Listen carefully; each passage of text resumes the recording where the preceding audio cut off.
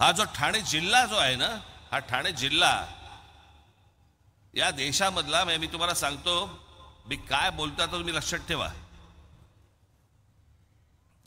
आज ही ठाणे लोकसभा कल्याण लोकसभेची संयुक्त ही सभा आहे.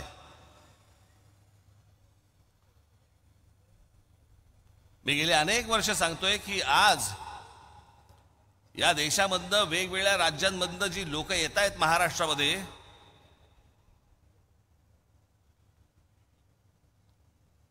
तुम्ही कितीही काम करा कितीही रस्ते बांधा कितीही पूल बांधा कितीही काही करा पण जोपर्यंत हे बाहेरचे लोंढे जोपर्यंत थांबणार नाहीत तोपर्यंत तुम्ही कितीही विकास केलात तरी या शहरांमध्ये काहीही घडू शकणार नाही.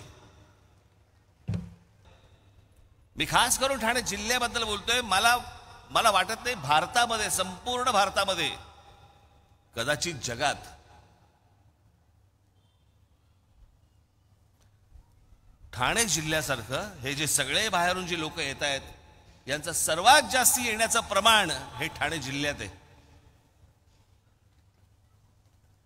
साधी गोष्ट आपण लक्षात घेऊया. काय असते? एक गाव असतं गावामध्ये ग्रामपंचायत असते.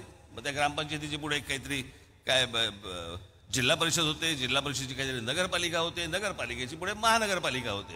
हे ठरतं कशावर? लोकसंख्येवर. बरोबर बोलतोय मी? लोकसंख्येवरती ठरतं. मुंबई मुंबई उपनगर जिल्हा. किती महानगरपालिका आहेत? एक.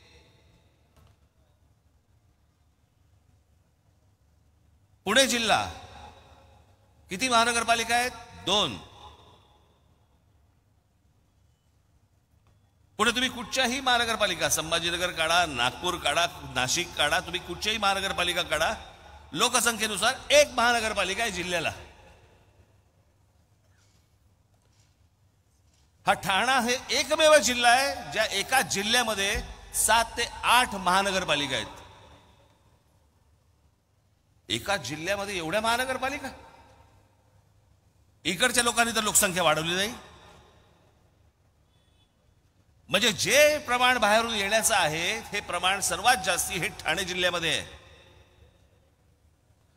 ठाणे महानगरपालिका नवी मुंबई महानगरपालिका कल्याण डोंबिवली महानगरपालिका मीरा भाईंदर महानगरपालिका भिवंडी महानगरपालिका त्याच्यात अजून कुठच्या राहिल्या?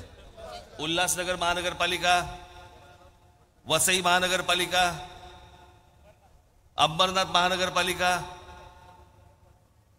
एका जिल्ह्यामध्ये इतक्या महानगरपालिका म्हणजे विचार करा या जिल्ह्यामध्ये माणसं आली किती आणि येत आहेत किती?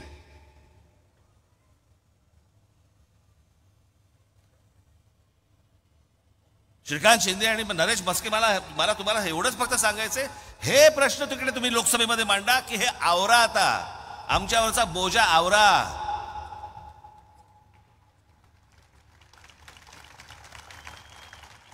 आम्ही उद्या इथे काही मेट्रो आणली काही आणलं काहीही आणायचा प्रयत्न केला तरी ते यशस्वी होणार नाही. कारण जोपर्यंत लोकसंख्या वाढते आहे तोपर्यंत हे पुरच पडणार नाही. आणि ह्या सगळ्या महानगरपालिका सगळ्या विस्कटलेल्या आहेत त्या अजून विस्कटून जाणार. जो मूळ राहणारा माणूस आहे जो मूळ करदाता म्हणून ज्याला आपण म्हणूया त्याच्या हाताला नशिबाला काहीही लागणार नाही.